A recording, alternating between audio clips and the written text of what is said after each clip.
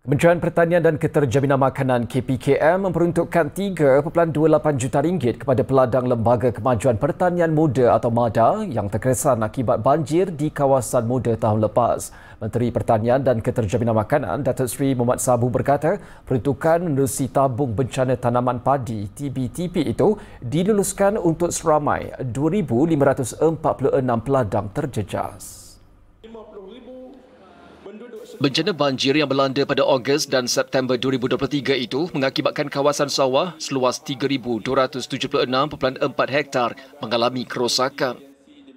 Saya amat mengharapkan bahawa bantuan wang ihsan daripada kerajaan ini dapat meringankan beban yang ditanggung oleh petani serta dapat memberikan suntikan modal kepada petani bagi penanaman musim 1-2024 yang telah bermula pada ketika ini.